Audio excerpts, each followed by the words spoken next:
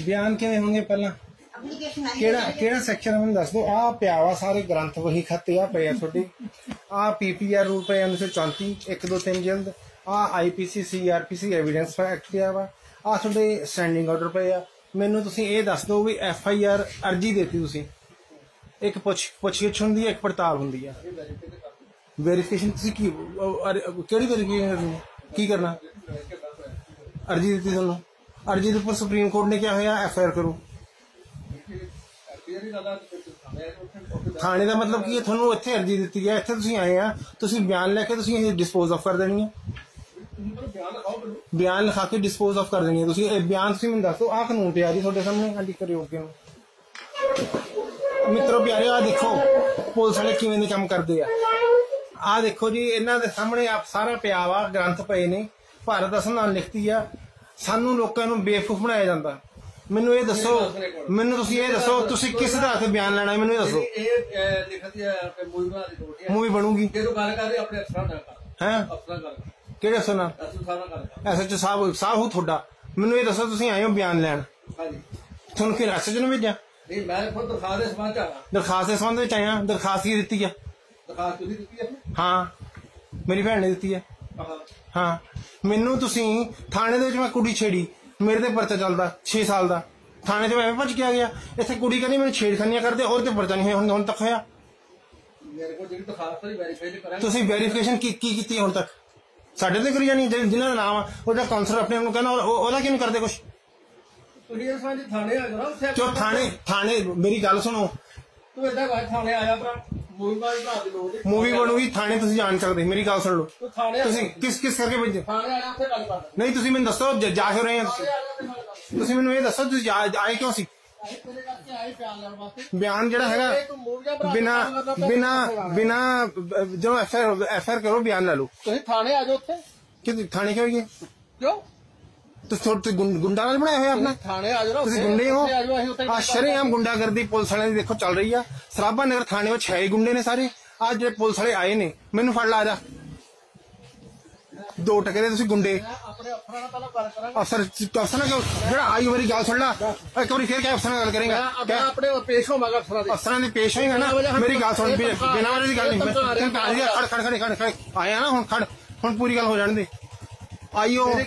ਆਈਓ ਇੰਡੀਪੈਂਡੈਂਟ ਤੂੰ ਅਫਸਰ ਤੈਨੂੰ ਅਫਸਰ ਧਮਕਾਉਂਦੇ ਆ। ਮੈਨੂੰ ਧਮਕਾ ਰਿਹਾ ਨਾ ਬਲਕਿ ਮੂਵੀ ਬਣਾ ਕੇ ਮੈਨੂੰ ਧਮਕਾ ਰਿਹਾ। ਇੱਕ ਪ੍ਰੈਸ਼ਰ ਪਾ ਰਿਹਾ ਮੇਰੇ ਤੇ ਮੂਵੀ ਮੈਨੂੰ ਇਹ ਦੱਸ ਐਫਰ ਐਫਰ ਕੱਟੀ ਦੋ ਮਹੀਨੇ ਹੋ ਗਏ। ਸਾਨੂੰ ਧਮਕਾਉਣਾ ਤੂੰ। ਤੇ ਤੂੰ ਮੈਨੂੰ ਧਮਕਾ ਰਿਹਾ ਨਾ? ਮੇਰੀ ਮੂਵੀ ਬਣਾ ਬਿਆਨ ਲੈ ਕੇ ਤੂੰ ਡਿਸਪੋਜ਼ ਆਫ ਕਰਨੀ ਹੈ ਐਪਲੀਕੇਸ਼ਨ ਤੂੰ ਮੇਰੀ ਮੂਵੀ ਬਣਾ ਕੇ ਤੂੰ ਕਹਿੰਦਾ ਆਈ ਤੈਨੂੰ ਦਬਾਅ ਜਾਂਦਾ ਤੂੰ ਮਸਲਾ ਮੇਰੀ ਮੂਵੀ ਬਣਾ ਕੇ ਅਫਸਰ ਨੂੰ ਪੈਸੇ ਦਿੱਤੇ ਵੀ ਤਾਂ ਤਾਂ ਕਰਕੇ ਫਿਰ ਨਹੀਂ ਮੈਂ ਆਪਣੇ ਅਫਸਰ ਨੋਟ ਤੇ ਲਾਵਾਂਗਾ ਵੀ ਆਹ ਕੰਮ ਏਦਾਂ ਕਰ ਜਾ ਹਾਂ ਮੈਂ ਮੈਂ ਹੁਣੇ ਬਾਅਦ ਨਹੀਂ ਅਫਸਰ ਨੂੰ। ਆ ਜਾ ਮੈਂ ਕਮਿਸ਼ਨ ਨੂੰ ਮੈਂ ਕਹਿੰਦਾ ਗੱਲ ਕਰ ਰਿਹਾ ਪਰ ਆਪਣੇ ਅਫਸਰਾਂ ਦਾ ਵੀ ਹਰ ਗੱਲ ਵਿੱਚ ਮੂਵੀ ਔਰ ਸਾਰੇ ਬਣੂਗੀ ਬਣੂਗੀ। ਕਮਿਸ਼ਨ ਨੂੰ ਨਹੀਂ ਭੇਜਦਾ ਮੈਂ ਅਫਸਰ ਨੂੰ।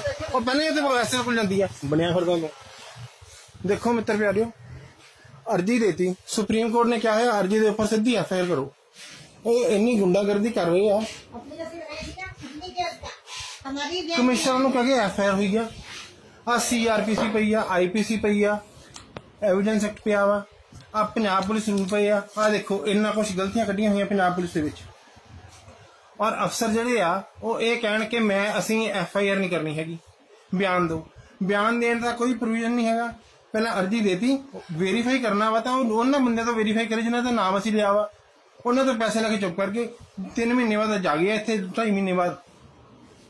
ਇੱਥੇ ਸਾਡੇ ਕੋਲੇ ਆ ਗਿਆ ਤੇ ਸਾਨੂੰ ਕਹਿੰਦੇ ਬਿਆਨ ਦਿਓ। ਇਸ ਤਰ੍ਹਾਂ ਬਿਆਨ ਨਹੀਂ ਦਿੱਤਾ ਜਾਊਗਾ।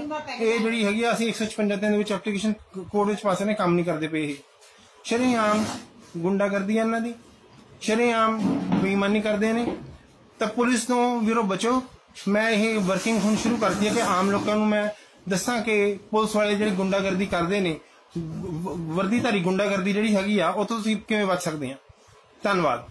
ਅਗਲੇ ਵੀਡੀਓ ਜਿਹੜੇ ਪਾਉਂਗਾ, ਉਹਨਾਂ ਨੂੰ ਧਿਆਨ ਨਾਲ ਦੇਖਿਓ। ਤੁਹਾਡੇ ਲਈ ਗਿਆਨਵਰਤਕ ਹੋਣਗੇ ਸਾਰੇ ਵੀਡੀਓ।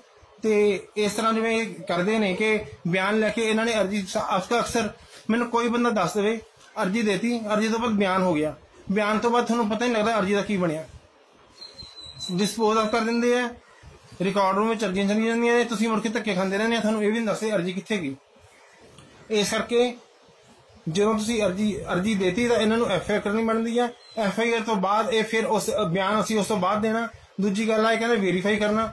ਜਿਹੜੇ ਬੰਦੇ ਦਾ ਅਸੀਂ ਨਾਮ ਦਿੱਤਾ, ਉਹਨਾਂ ਕੋਲ ਮਿਲ ਕੇ ਨਹੀਂ ਆਏ ਇਹ। ਸ਼ਰੇਆਮ ਗੁੰਡਾਗਰਦੀ ਹੋ ਰਹੀ ਹੈ, ਸ਼ਰੇਆਮ ਬੇਵਕੂਫ ਬਣਾਇਆ ਜਾ ਰਿਹਾ। ਸਰਾਭਾ ਨਗਰ ਪੁਲਿਸ ਜਿਹੜੀ ਆ, ਇਹਨਾਂ ਨੇ ਪਹਿਲਾਂ ਵੀ ਝੂਠੇ ਕੇਸ ਕੀਤੇ ਆ, ਬੇਈਮਾਨੀਆਂ ਕਰਦੇ ਆ ਇਹ, ਔਰ ਜਿਹੜੀ ਸੱਚੀ ਗੱਲ ਹੁੰਦੀ ਆ, ਉਹ ਤੇ ਕਦੇ ਕੰਮ ਨਹੀਂ ਕਰਦੇ। ਔਰ ਜਿਹੜੇ ਗੁੰਡੇ ਅਨਸਰਾਂ ਨਾਲ, ਪੰਜਾਬ ਪੁਲਿਸ ਰੂਲ ਦੇ ਵਿੱਚ ਐਕਟਾਵਲੀ ਨਿਯਮਾਵਲੀ ਆ ਇਹਦੇ ਵਿੱਚ ਲਿਖਿਆ ਹੋਇਆ ਕਿ ਪੁਲਿਸ ਵਾਲੇ ਗੁੰਡੇ ਅਨਸਰਾਂ ਦੇ ਨਾਲ ਲੜ ਕੇ ਕੰਮ ਕਰਨਗੇ, ਔਰ ਇੱਥੇ ਅਸੀਂ ਲਿਖਾਇਆ ਹੋਇਆ, ਅਰਜੀ ਦੇ ਵਿੱਚ ਕਿ ਐਂਟੀ ਸੋਸ਼ਲ ਐਲੀਮੈਂਟ ਆ, ਗੈਰ ਸਮਾਜੀ ਤੱਤ ਆ, ਔਰ ਉਹਨੂੰ ਬਚਾਉਣ ਦੀ ਬਚਾਉਣ ਦੇ ਲਈ ਇਹ ਪੁਲਿਸ ਵਾਲੇ ਗੁੰਡਾਗਰਦੀ ਦੇ ਉੱਪਰ ਉਤਰੇ ਹੋਏ ਆ। ਮੈਂ ਅਗਲੀ ਵੀਡੀਓ ਬਣਾਉਂਗਾ। ਉਹ, ਉਹਨੂੰ ਧਿਆਨ ਨਾਲ ਦੇਖਿਓ ਤਾਂ ਕਿ ਤੁਹਾਨੂੰ ਦੱਸਾਂ ਕਿ ਆਪਣਾ ਬਚਾਅ ਕਿਵੇਂ ਕਰਨਾ ਔਰ ਤੁਹਾਡੇ ਜਿਹੜੇ ਅਧਿਕਾਰ, ਮਨੁੱਖੀ ਅਧਿਕਾਰ ਨੇ, ਤੁਹਾਡੇ ਮੌਲਿਕ ਅਧਿਕਾਰ ਨੇ, ਉਹਨਾਂ ਦੀ ਰਾਖੀ ਤੁਸੀਂ ਆਪ ਕਿਵੇਂ ਕਰਨੀ ਹੈ। ਧੰਨਵਾਦ।